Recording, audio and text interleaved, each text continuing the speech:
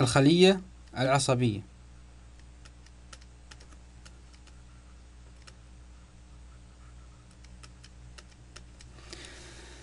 الخلية العصبية هي الوحدة الأساسية في التركيب والوظيفة في الجهاز العصبي داخل الجسم. لذلك سوف نتعرف على تركيب الخلية العصبية وكذلك وظيفتها.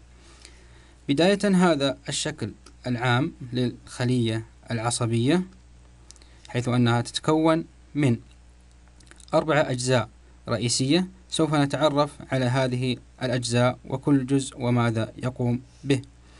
عندنا الجزء الأول كما تلاحظون في الصورة الزوائد الشجرية.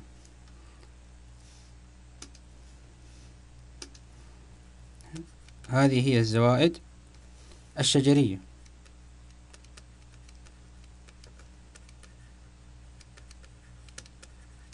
الزوائد الشجرية تقوم باستقبال الإشارات العصبية. الجزء الثاني يتمثل في جسم الخلية وجسم الخلية يقوم بنقل الإشارات العصبية. داخل جسم الخلية يوجد لدينا النواة وكذلك يوجد لدينا عضيات أخرى.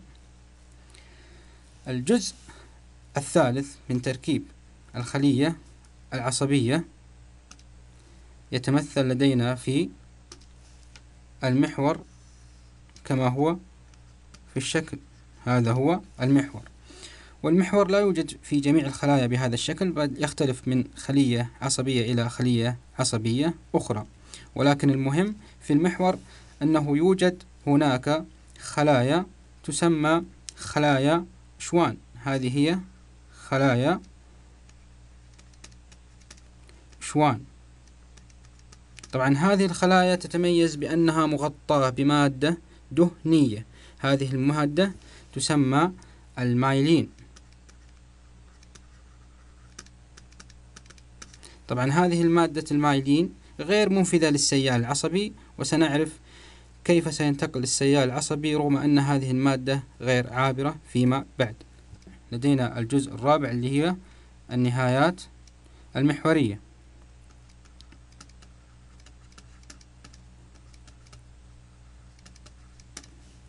هذا هو الشكل العام للخلية العصبية.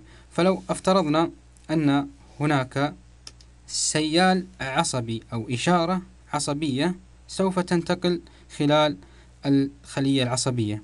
لنفترض أن هناك إشارة عصبية في البداية سيتم من خلال الزوائد الشجرية استقبال الإشارة العصبية ثم تنتقل إلى داخل جسم الخلية. جسم الخلية بعد ذلك يقوم بنقلها إلى المحور. وعرفنا سابقا أن المحور آه، محور يوجد عليه خلايا تسمى خلايا شوان. هذه الخلايا تكون مغلفة بمادة دهنية غير منفذة.